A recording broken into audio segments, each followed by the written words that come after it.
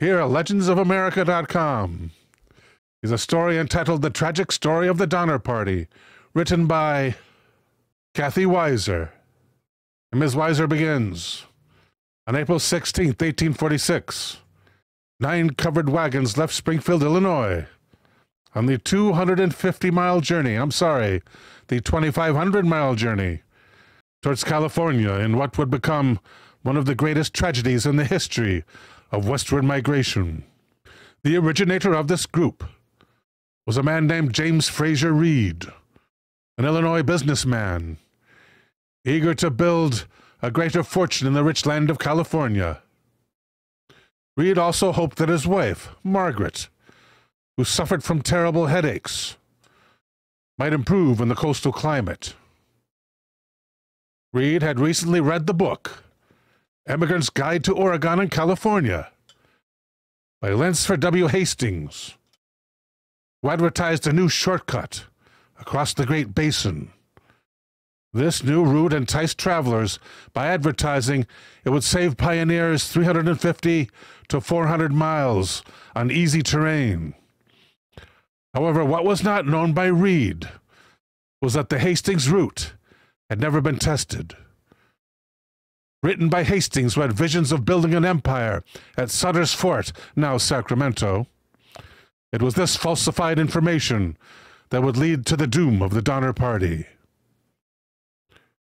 Reed soon found others seeking adventure and fortune in the Wild West, including the Donner family, the Graves, the Breens, the Murphys, the Eddies, the McCutcheons, the Kesebergs, and the Wolfingers, as well as seven Teamsters and a number of bachelors. The initial group included 32 men, women, and children.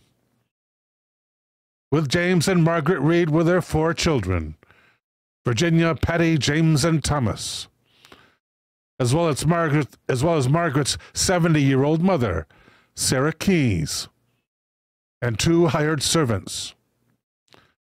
Takahama Olsen 2 with a super chat.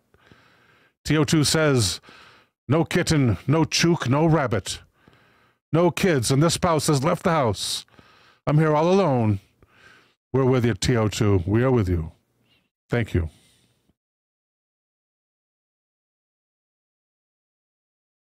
Though Sarah Keyes was so sick with consumption she could barely walk. That's the grandmother.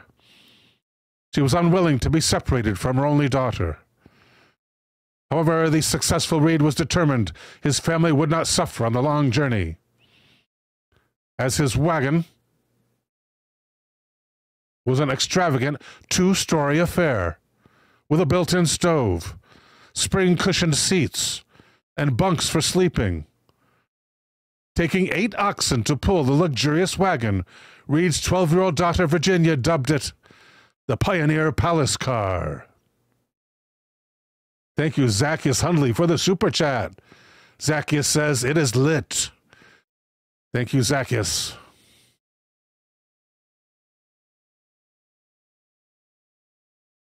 In nine brand new wagons, the group estimated the trip would take four months to cross the plains, deserts, mountain ranges, and rivers in their quest for California. Their first destination was Independence, Missouri, the main jumping off point for the Oregon and California trails. Also in the group were the families of George and Jacob Donner. George Donner was a successful 62 year old farmer who had migrated five times before settling in Springfield, Illinois, along with his brother Jacob. Obviously adventurous, the brothers decided to make one last trip to California which unfortunately would be their last.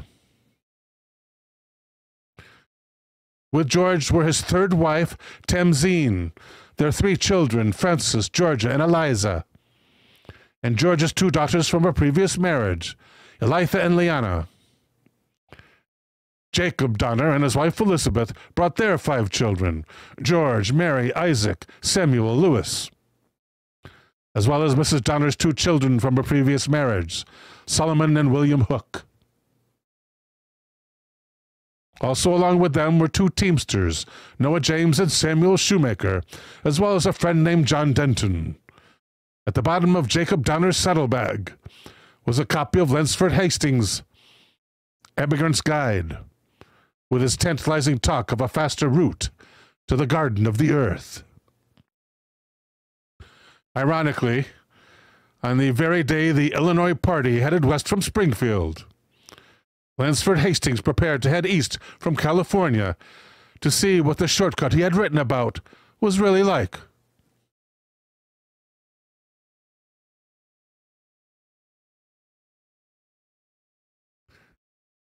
Notice here's where they started in Independence.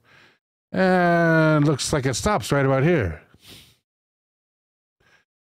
The wagon train reached Independence, Missouri about three weeks later, where they resupplied.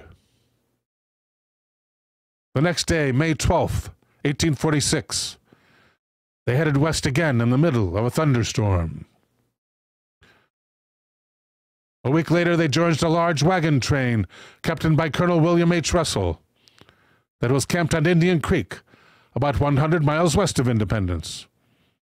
Along the entire journey, others would join the group until its size numbered 87. Thirteen days later, the train was held for several days by high water at the Big Blue River, near present day Marysville, Kansas. It was here that the train would experience its first death, when grandmother Sarah died and was buried next to the river. After building ferries to cross, the party was on their way again, following the Platte River for the next month. Along the way, William Russell resigned as captain of the wagon train, and the position was assumed by William Boggs.